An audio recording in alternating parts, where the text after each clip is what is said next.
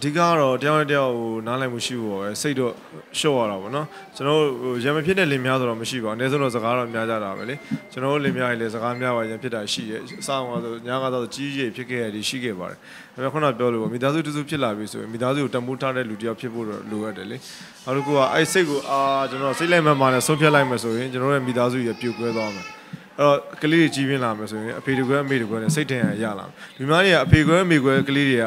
ဟိုစိတ်ထင်ရရရဆိုတော့မဟုတ်နိုင်ဘူးမဖြစ်နိုင်ဘူးလို့ပြောဝင်မယ်တကယ်တမ်းကျွန်တော်တို့ဟိုဘယ်လိုပဲနေနေသူတို့မှအသိငယ်စိတ်တော့ရှိတယ်ဗျကျွန်တော်ကအဲ့လိုမျိုးတော့မဖြစ်စေချင်ဘူးအဲ့ကျွန်တော်တားရဲ့သမီးတို့မိဆုံးဖားဆုံးဒီမိဘနဲ့ပဲကြီးပြင်းစေချင်တယ်ဒီကလေးကိုဒီဖေမင်းနဲ့ပဲမွေးထားဒီဖေမင်းပဲကြီးပြင်းစေချင်တယ်ဗောနော်အဲ့တော့ကိုကျွန်တော်အတတ်နိုင်ဆုံးတော့ကျွန်တော်အစီအပြေအောင်ညှိရယ်ကလေးမျက်နှာနဲ့တော်တော်များများဆိုရင်ချို့အကြီးဖြစ်မဲ့ဟာလေးမဖြစ်တော့ဘဲနဲ့ ပျောက်ကွယ်သွားတာမျိုးရှိရအောင်ဒါမို့လေးတွေအထင်ချုံပြီးတော့ကျွန်တော်မိသားစုတိဆောက်ပါတယ်အဓိကတော့ဟို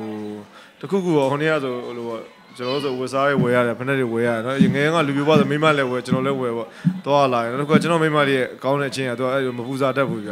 အဲ့လိုမျိုးဘာလိုချင်လို့ဘာလိုချင်လဲဆိုတော့သူကမရှိဘူးရှိရလေးနဲ့ရောင်ရဲတင်းနေနိုင်တဲ့အချင်းတွေရှိတယ်ပဲကျွန်တော်ဒါအရင်ချစ်ဖို့ကောင်းတဲ့ဟာပါဒီခေတ်ကြီးမှာအဲ့လိုစိတ်လည်းမရှိရရှားပါတယ်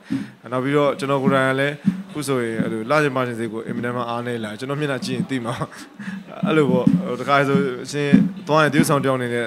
ကောင်းမှုလေးတော့သွားပါပါပါဆိုပစ္စည်းတစ်ခုဝယ်မယ်ဆိုရင်မိမအရင်တိုက်တွန်းရတယ်အဲ့လိုဟာမလို့ဝယ်မဲ့တူတူကလေးအတွက်တကူဝယ်ပေးမယ်တမီလေးအတွက်တကူဆင်ပေးမယ်ဒါမို့လို့ပိုင်ဦးစားပေးလာများတယ်ဖခင်စိတ်ကပို့ပြီးတော့များလာတယ်ဗျအဲ့လေးတော့ပြောင်းလဲလာပါတယ်